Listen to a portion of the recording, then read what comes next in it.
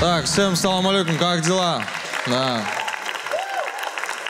А, да, я с Кыргызстана. И у меня в детстве была любимая компьютерная игра, называлась Свен.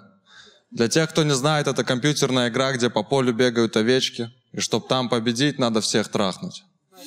Я обожал эту игру, я дни напролет в нее играл. Но существовал один маленький нюанс.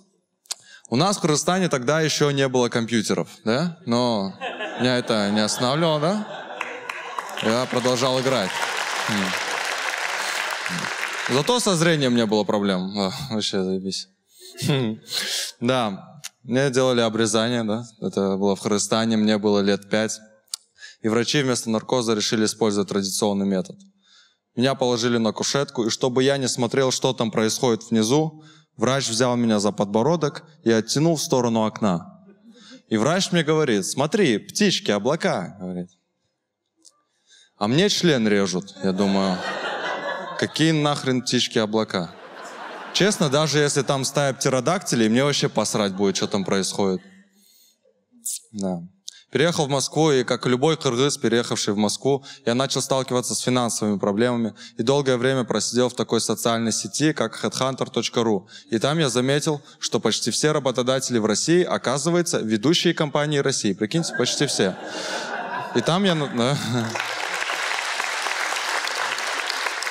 И там я наткнулся на вакансию модельный агент. Я приехал в офис, сел, мне там все понравилось, там был кулер, аэрохоккей, ничего себе, да? Я пришел, и там оказалось, что это вебкам-студия.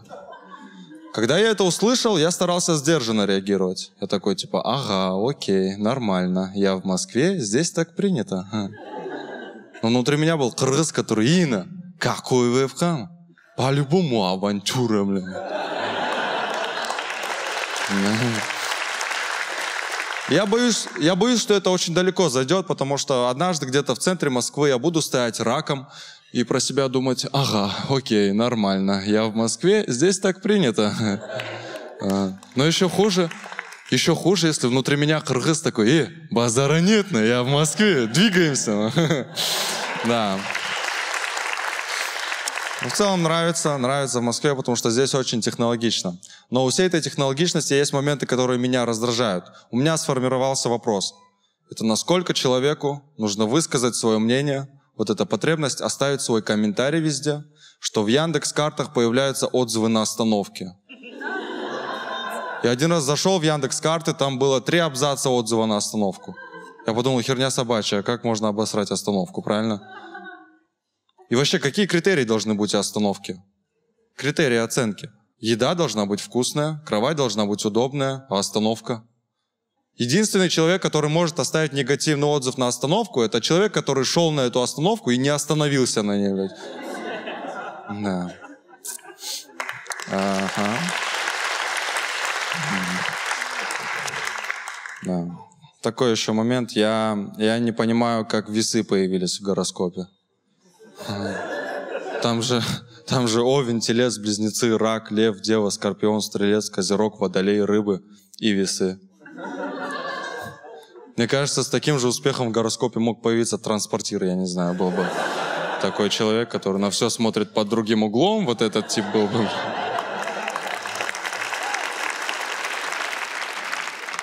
Не понимаю, почему у взрослых так прям ценится просыпаться рано. Просто у меня дядя, который все детство меня задрачивал с тем, чтобы я просыпался рано, и сам он тоже просыпался рано. Но как будто бы он не становился лучше как человек из-за того, что просыпается рано. Просто когда я просыпаюсь в 12, я могу э, встретиться с друзьями, поработать, выступить и спокойно ложусь спать.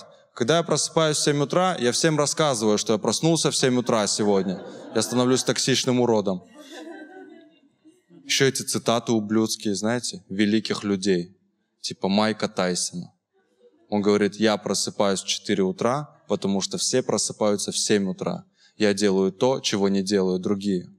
Я думаю, если это не делают другие, может это нахуй не надо делать, блядь?